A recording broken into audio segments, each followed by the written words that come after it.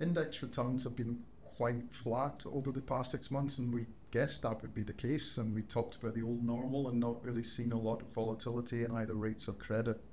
So when it comes down to our performance relative to that index, we've been doing, we've been positioning quite well, I think, in terms of geography and interest rate curve, both in terms of rates and credit. Generally focusing on shorter dated bonds, which have done better than longer dated ones. Uh, and in the rate side, uh, moving our duration around a little bit as yields moved across that quite narrow range. So a number of opportunities uh, to, to make money, um, but very much dependent on the value that we've seen in the bond market.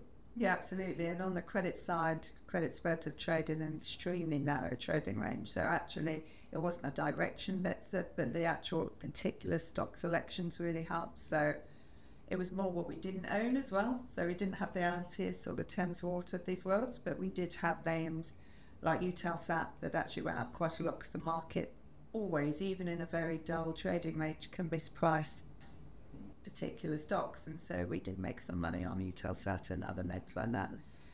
I mean, I would say that's true in rates as well. We we had a strategy that suggested we should avoid European sovereigns yeah. other than Germany and we the, the, real reason for that is we didn't see a huge amount of value. Everybody else seemed to own that asset class and uh, distorted the market a little bit.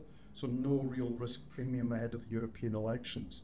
So entering that phase with no France, Spain, or Italian sovereign risk uh, clearly helped. Mm-hmm. Uh, and then when we saw the market um, become a little bit dislocated, uh, as as you know, we bought some French government bonds, made some money, and then moved on. So yeah quite often, I suppose the classic example for us is no Japan. So G7 uh, economic cycles are a little bit out, out of sync at the moment.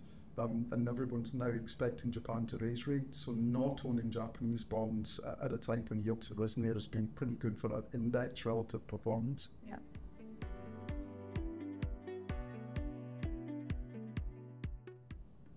I would say in rates, the next six months are likely to be more of the same we're now happier that central banks and market pricing, so maybe one or two rate cuts in the EU, in the US, and the UK, uh, market and central banks are more in sync, uh, and that certainly uh, we think is a, is a better place to be.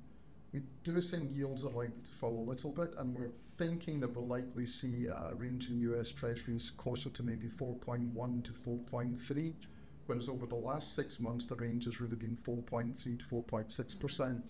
And if that's the case, you know, there is the opportunity for a small amount of capital gain.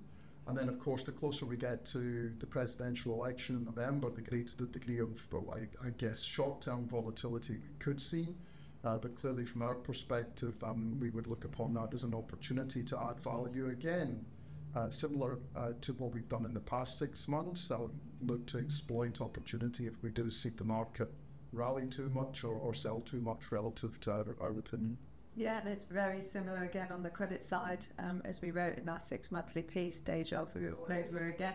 It, we do think that the credit trading range are pro- probably going to be fairly small, um, that we should invest on the credit side for carrying, which really not chasing risk.